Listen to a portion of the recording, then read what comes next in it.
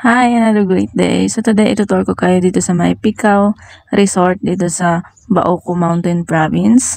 So dito, kung saan uh, may swimming pool. And syempre, ang ganda din naman ng background. So let me show you guys.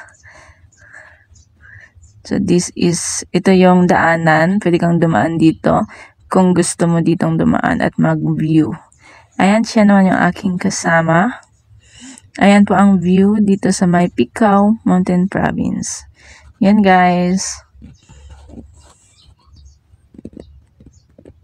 Wow.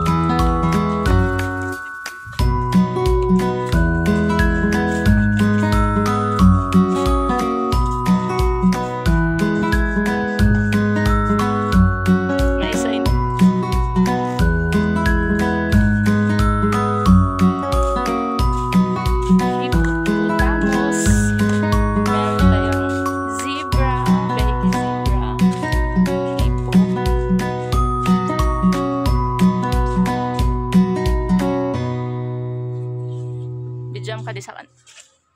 Pwede kami ito po. Pasang.